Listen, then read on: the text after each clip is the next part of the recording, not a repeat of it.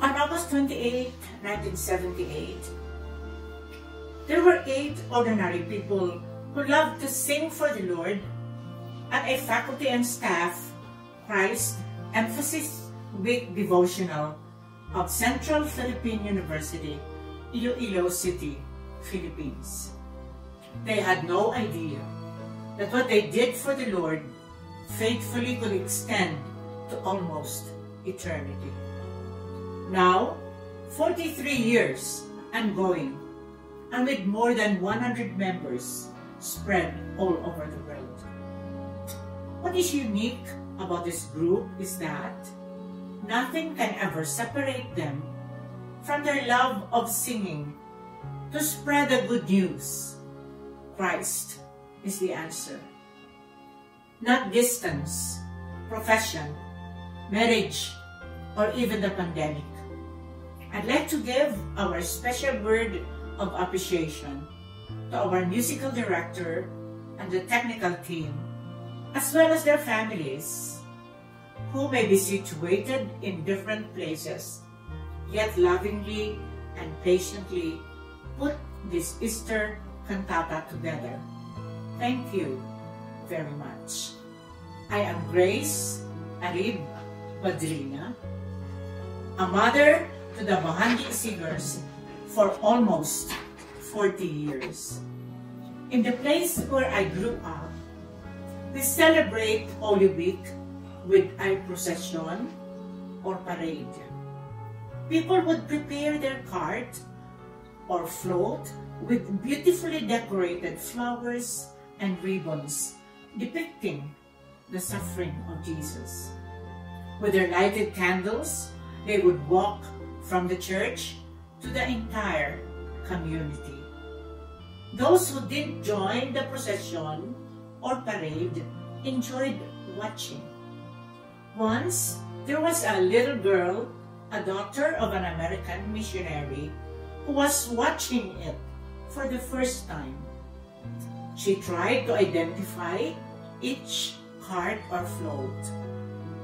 The disciples, the sorrowful women, Jesus praying at Gethsemane, Jesus carrying the cross, Jesus crucified, and Jesus death.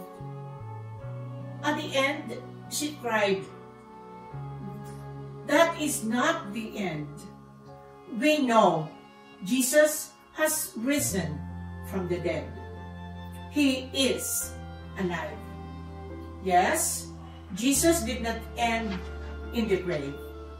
The Bible says in John 20, Mary Magdalene went to the tomb in the first day of the week when it was still dark and found the tomb empty. She told the disciples about it. They all came, filled with sadness, and went back to their homes. Mary stayed behind and wept outside the tomb. As Mary wept, she stooped, looked into the tomb, and saw two angels. Woman, why are you weeping? They asked. She replied, Because they have taken away my Lord, and I don't know where they laid him. Then she turned and saw Jesus, but did not know it was him. Jesus said to her, Woman, why are you weeping? Whom are you seeking? She replied, supposing him to be the gardener, Sir, if you've taken away my Lord, tell me where you have laid him. Jesus said to her, Mary. She replied, Rabboni. Only when Mary was called by her name did she recognize Jesus. Losing a loved one is a very devastating experience. Like Mary and the disciples, when Jesus died, it felt as though their whole world crumbled to pieces. life becomes meaningless. You lose track of what is real, just as Mary mistook Jesus as the gardener. I did not fully understand this pain until I lost my own loved one. But I'm thankful I'm a Christian and that I have Jesus who lived, died, and was victorious over death. Because he lives, I can face tomorrow. Paul brought to the church in Corinth, If Christ is not risen, then our preaching is in vain and empty. And your faith is also in vain and empty. We are among men most miserable. It is when we go through the deepest and the darkest valleys of our lives that we experience God's wonderful blessings. This is the beautiful Easter story. A story of hope and victory in times like this.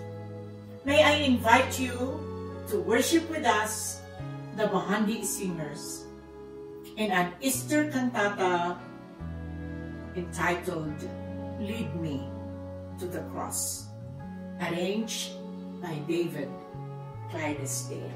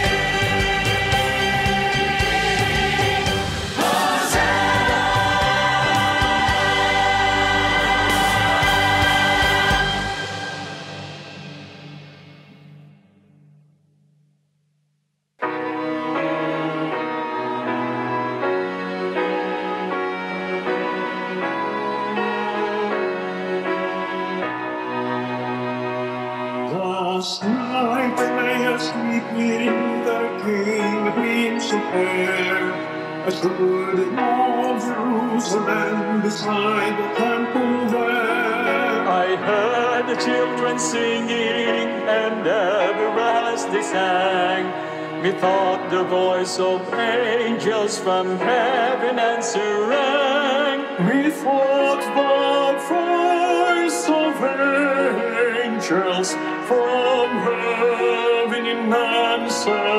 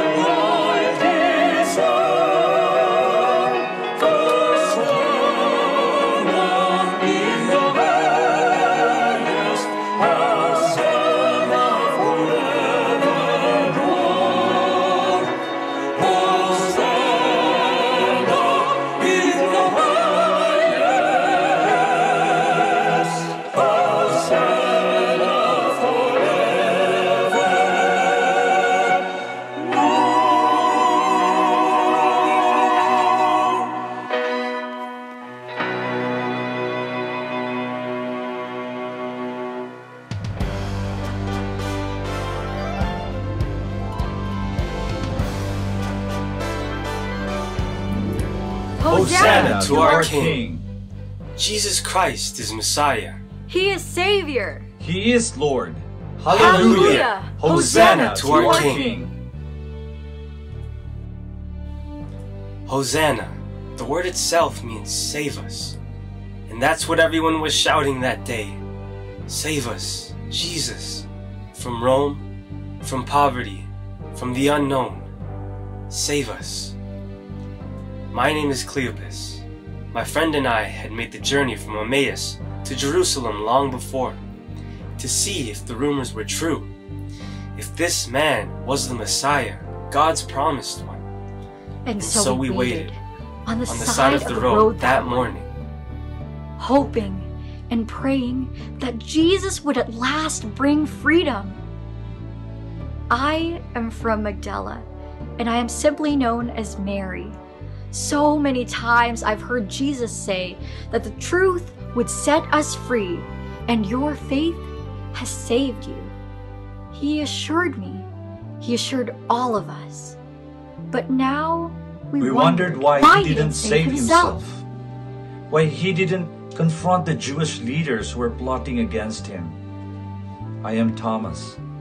I have been following him for three years. From the very first day, Jesus defied the established authority of our world. He told us the first shall be last.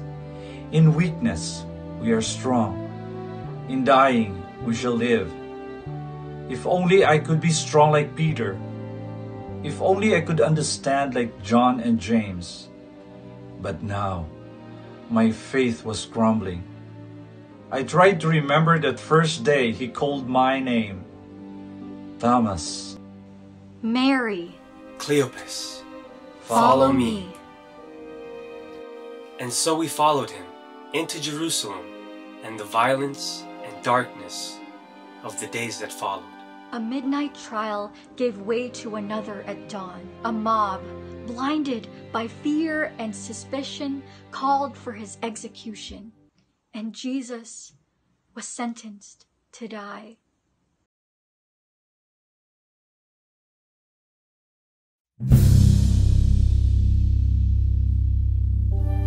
Was led to a dark street called the Via Dolorosa.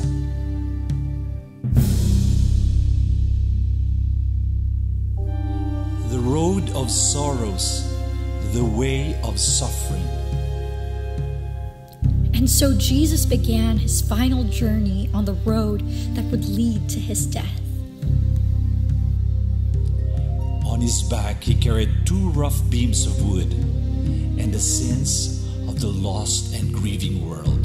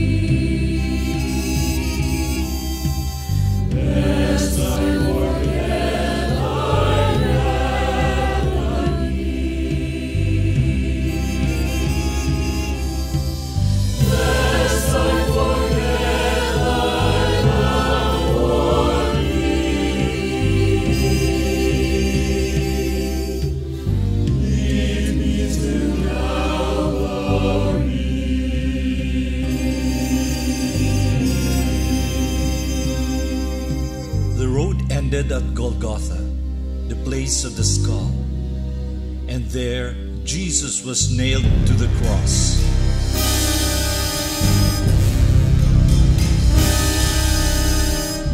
With each blow of the hammer, he took our pain upon himself.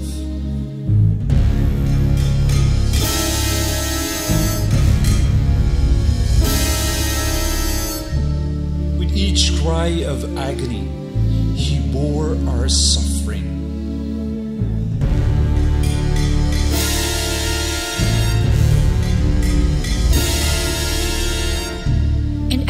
Cross was raised, I heard his dying voice call out to a seemingly empty sky. It was a love song to the world he was dying to save. Father, forgive them. They do not know what they are doing.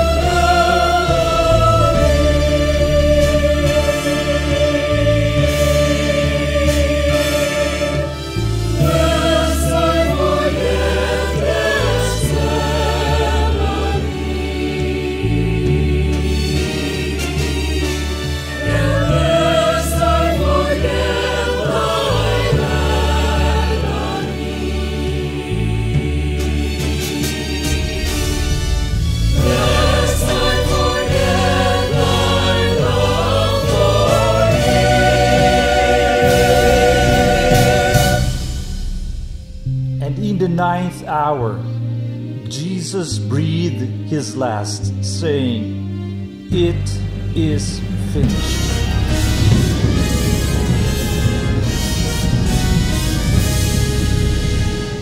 Father, into your hands I commit my spirit.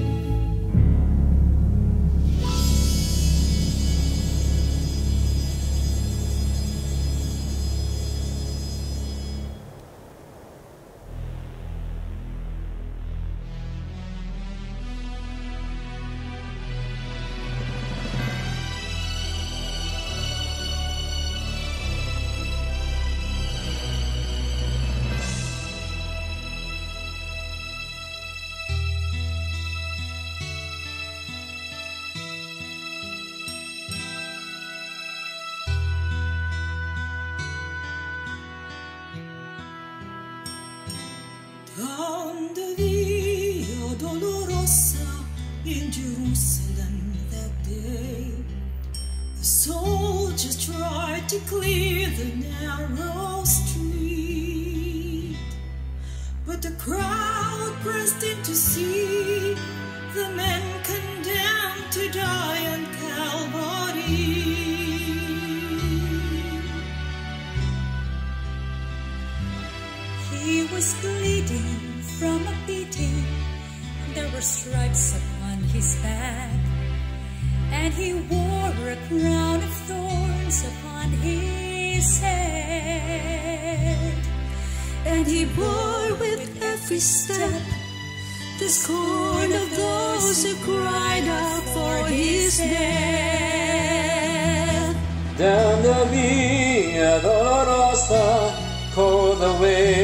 suffering.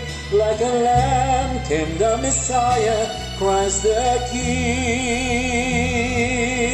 But he chose to walk the road out of his love for you and me. Down the Via Dolorosa, all the way to Calvary.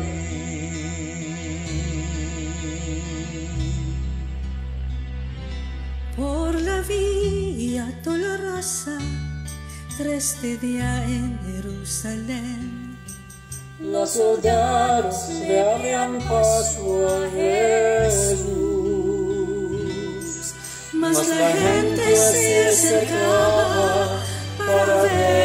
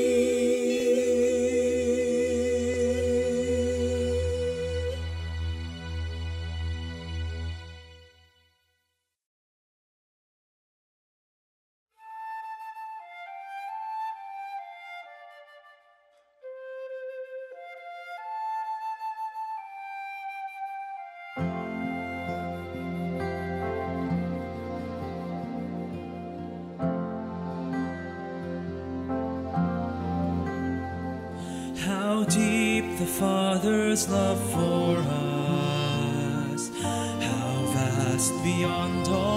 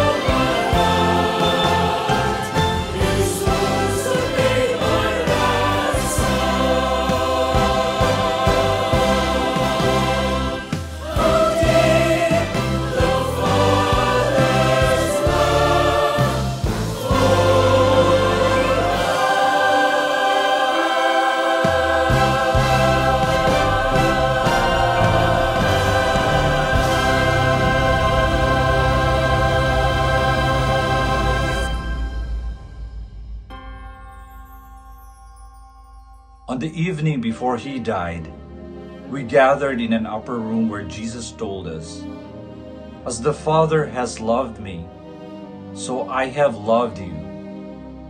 Greater love has no one than this, that he laid down his life for his friends. Jesus had laid down his life for us. Jesus had loved us with a love greater than the world had ever known. But, now, it was over. Suddenly, violently, inexplicably, it was over. Jesus was taken from the cross and wrapped in fresh linen. I watched as his lifeless body was taken down from the same road he had walked hours earlier. And he was placed in a new tomb as a large stone sealed the entrance. And, it, was, over. His voice silenced, his words of life now as cold and still as the grave in which he lay. I was broken, grieving, lost and without direction. So I made preparations to return home to Emmaus. I found a dark room in the outskirts of town to pray. I began to prepare spices so that I might anoint his body. And, And then, the, the third, third day day dawned. The road to the garden tomb was not long, nor was it rough, but I found the journey more difficult than the climb up to Golgotha to his cross. For this time I was saying my last goodbye. But all at once, I saw the tomb. The stone was rolled away. The body was gone. They have taken my Lord, I sought. But suddenly, there was a man who asked me why I cried, and he called me by name Mary.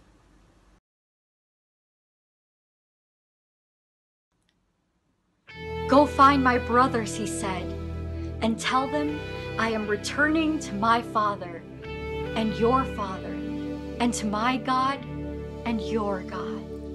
Who but you could breathe and leave a trail of galaxies and dream of me?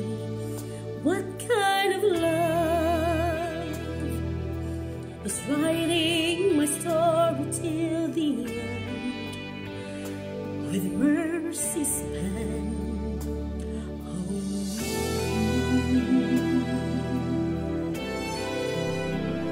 What kind of king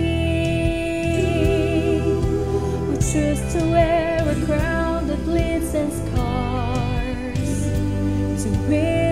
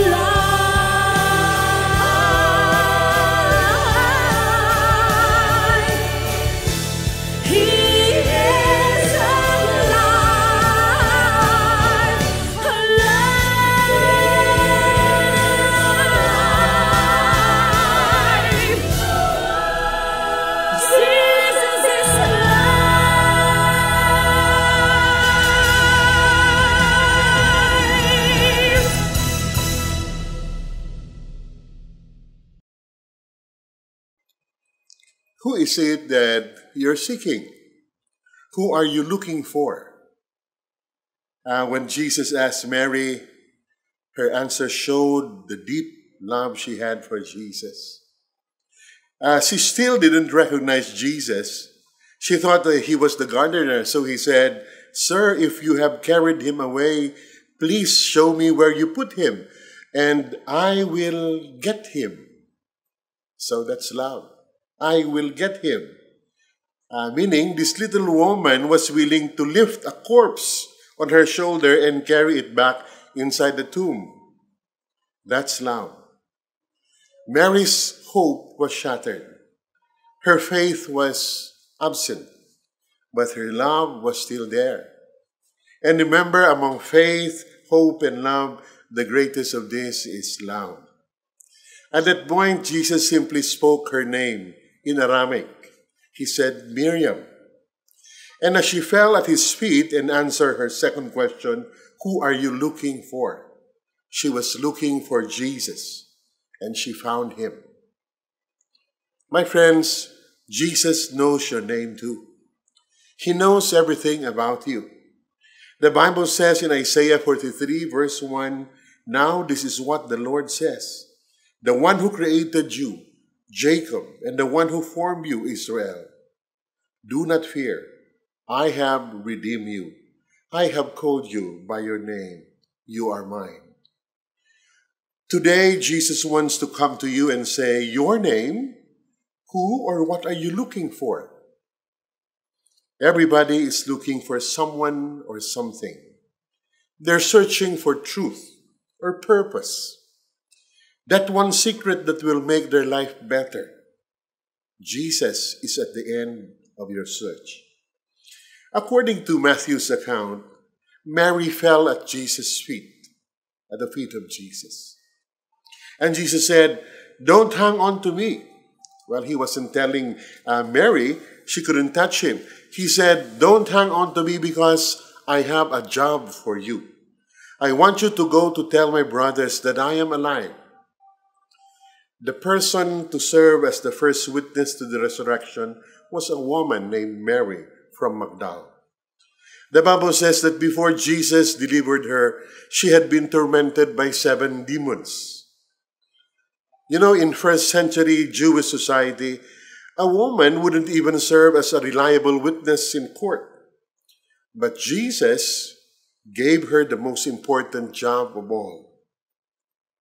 Go tell my brothers that I am alive. Women were the last at the cross and the first at the tomb. My friends, the job Jesus gave Mary is our job as well. We are to go and tell people that Jesus is alive and that he has changed or that he can change their lives. Sorrow is transformed to hope when you seek the risen Savior. In that moment when Mary recognized that Jesus was alive, her sorrow was turned to hope and her misery was turned to joy. So, do you really know that Jesus is alive today? How do you know? Are you basing it on evidence of the empty tomb? Well, that's what Peter and John had that, uh, had that morning. Evidence is important, but it can only take you so far. Mary ran to the disciples after meeting Jesus and said, I've seen the Lord, He is alive. Well, do you think this, the disciples started celebrating, shouting, He is alive? Nope. Actually, in John uh, or in Mark chapter 16, we learned that they didn't believe her. It wasn't until they encountered the Lord that night that they believed.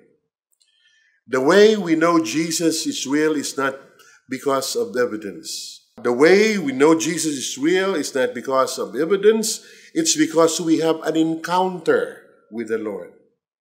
Evidence can change your mind. But only a personal relationship with Jesus can change your heart. As we live in, in a world where people are asking, how can we make it? We have the answer. We are the ones who know because He lives. we can face tomorrow because He lives. All fear is gone. We have a supernatural edge to deal with all the bad news. Toward the end of World War II, a secret message got through some American prisoners in the German concentration camp that, wa- that the war actually was over. But it would be three more days before the word got to the German captors. And during those three days, nothing changed in terms of their hardships in the prison. But their attitude changed from despair to hope. They knew that soon they would be released because the Allies have won or had won the war. And their hope were fulfilled three days later when the Germans fled the camp as soon as the Allies came to rescue them. You know, we're like those prisoners. We're facing hardship and suffering. But because of the resurrection, we know Jesus has won the war over death and the grave.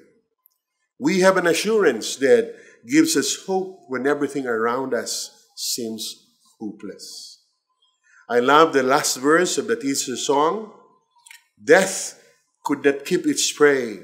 Jesus, my Savior. He tore the bars away.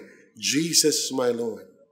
Up from the grave he arose with a mighty triumph over his foes.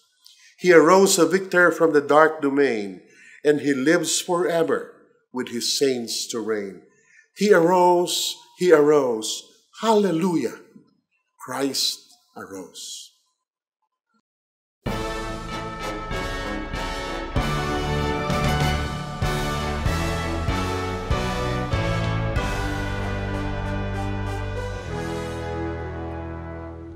Is alive, I cried. He is alive. I ran to tell his disciples. I ran to tell those who believed in him and those who didn't believe him. Jesus, is alive. I, have seen, the Lord. That's what Mary and the others said. My companion and I had barely begun our journey back to Emmaus when we heard the news. Discarded burial cloths, a massive stone displaced, angels who appeared as lightning. Who could have believed such things? And as we discussed the events of the morning, a stranger suddenly joined us. We never thought to ask his name. Maybe because it felt especially rough that day. Or maybe our minds were preoccupied with questions and doubts. But then, he opened the scriptures, and our hearts began to burn. Later, he broke bread at our table, and our eyes were opened, and we recognized him.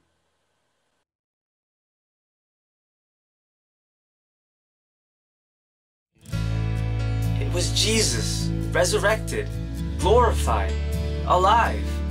He had been walking with us all along, and I knew he would walk with me from that day. The road we walk is hard. It steals our dreams and leaves us scarred, convincing us our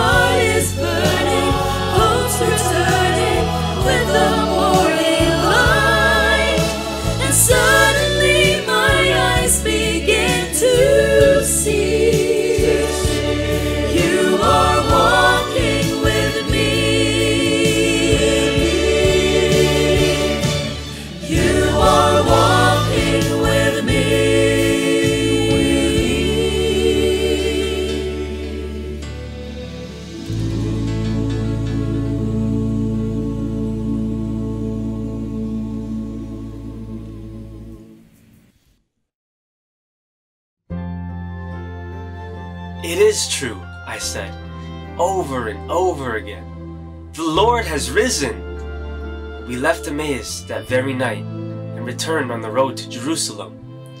Once there, we found his disciples in an upper room, and we told them all that had happened, how he walked with us, and how we recognized him when he broke the bread. And It is true. The, Lord, has, risen. That's all I seemed to hear that week from Cleopas and his friend on the Emmaus Road, from Mary and others at the guarded tomb. From my own brothers, they claimed Jesus had appeared among them. We have seen the Lord, they cried. But I was not in the Emmaus Road, or at the tomb, or in the upper room, and I stubbornly refused to believe what I could not see. And then, in an upper room, behind closed doors, Jesus appeared to all of us, saying, Peace be with you. And he turned to me and said, Thomas, put your finger here. Reach your hand out and put it on my side. Stop doubting and believe.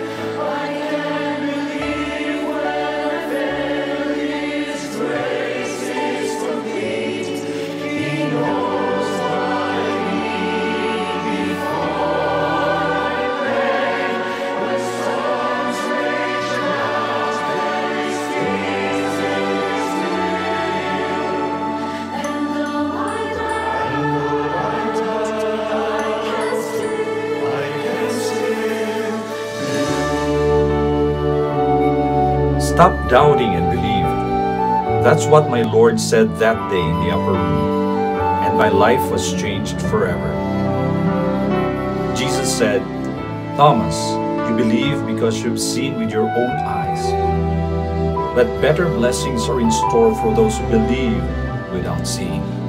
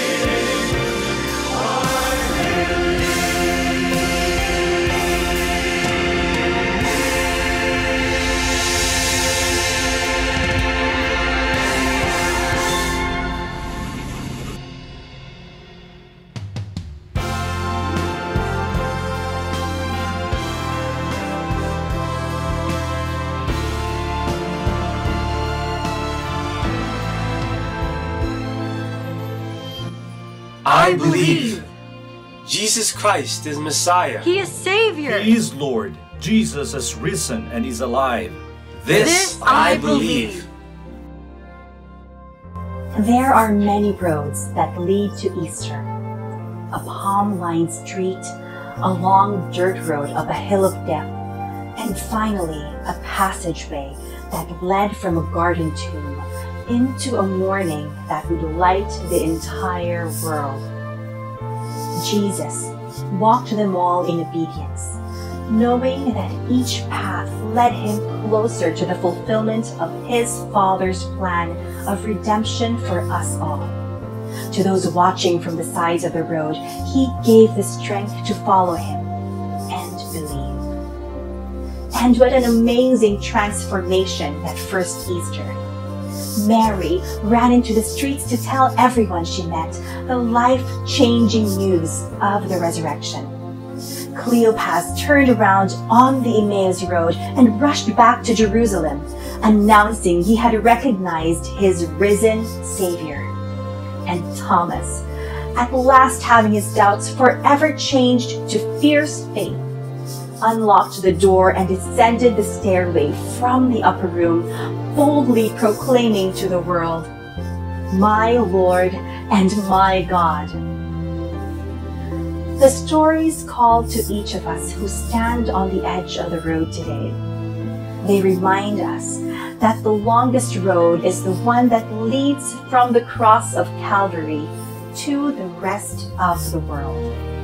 Our risen Lord is calling to each of us this day, this moment. What will your answer be? I have decided to follow Jesus. I have decided to follow Jesus. I have decided to follow Jesus. No, No turning back. back. No turning back.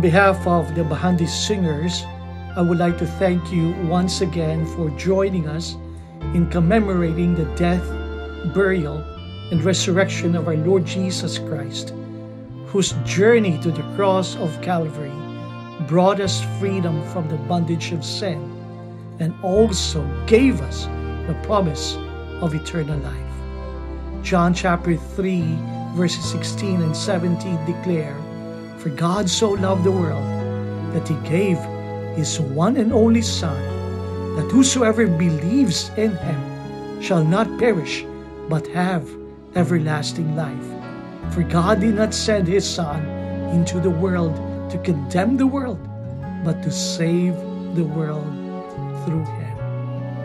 Thank you, Jesus, for your great sacrifice on our behalf. We love you today. We love you always. Let me close with this benediction.